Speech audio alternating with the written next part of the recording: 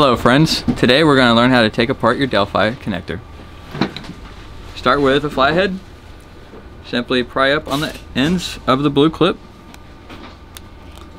Pop it off just like so. If you have a depinning tool, you're going to go right down the center here and depress the tab. Pop it out.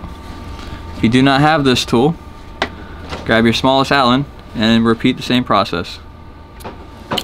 Pop it out and when you do so, the little tab right here should be just about flush with the rear.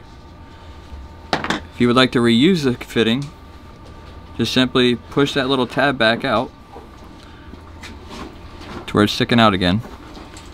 You see the difference there? This one's been depressed and this one's ready for reuse.